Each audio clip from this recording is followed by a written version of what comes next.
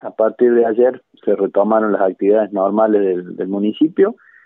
con eh, no la totalidad de los recursos humanos, pero con buena parte ya eh, reincorporado, eh, con lo cual, bueno, estamos pudiendo funcionar y, prestar los servicios inherentes al, al, municipio. Así que ya pasada la,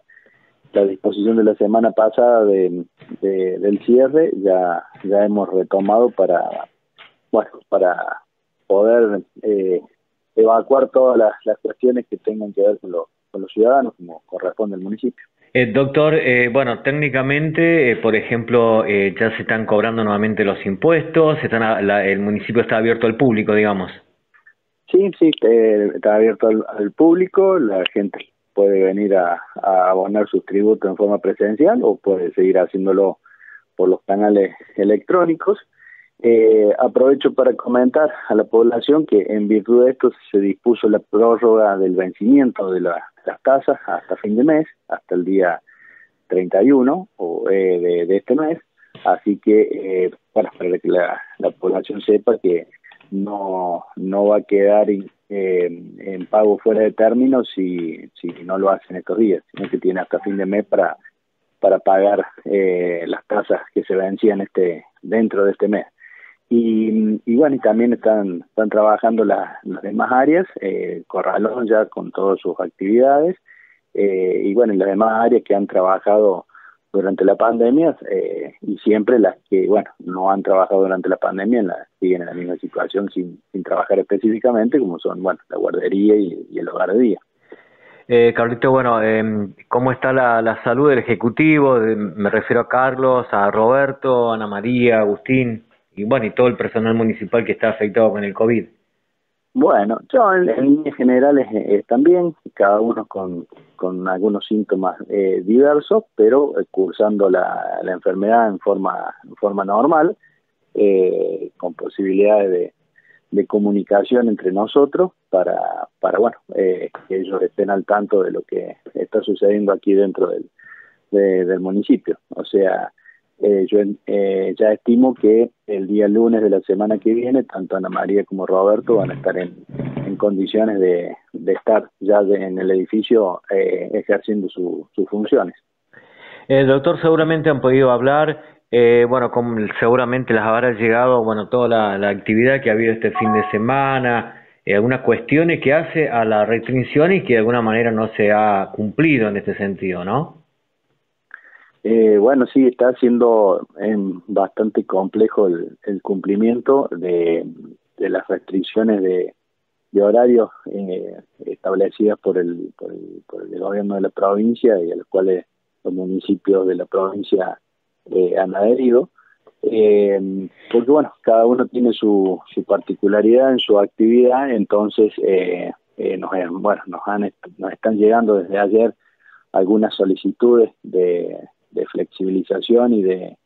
permisos especiales, eh, pero bueno, lógicamente estamos evaluando eh, para eh, compatibilizar los intereses de,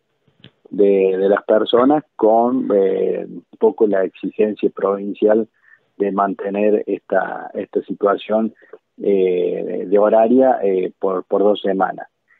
no obstante, también debo agradecer a aquellos eh, oficinas y, lugares en que, bueno, ante la presencia de un personal con COVID positivo, han tomado la determinación de cerrar su, sus oficinas, eh, siguiendo los lineamientos que, medianamente se recomiendan desde el municipio y desde, desde el COE,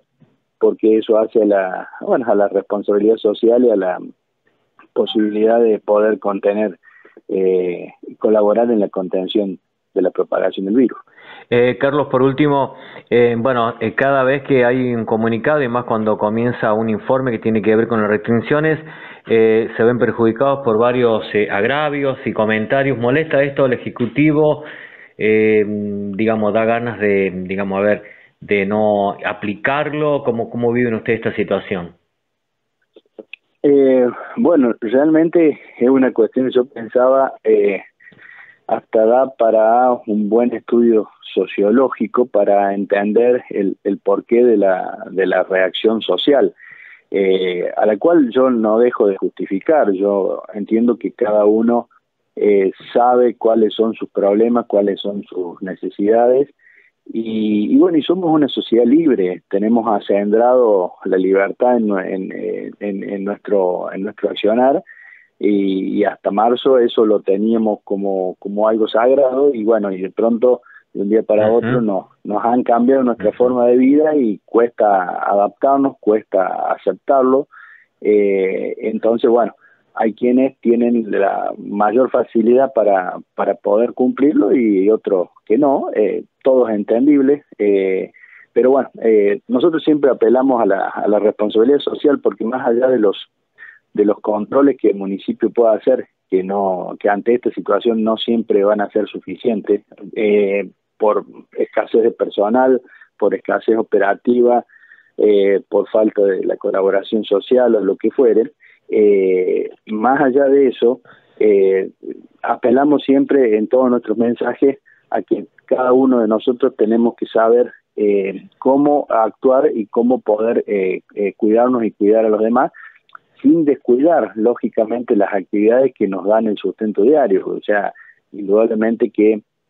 no hay ningún tipo de margen ni para volver a una fase 1 ni para una restricción mayor que a la que puede existir hoy hoy día. Eh, es lógico que la gente tiene que comerciar, tiene que trabajar, tiene que estudiar, porque eh, la vida eh, lo socioeconómico continúa. y bueno,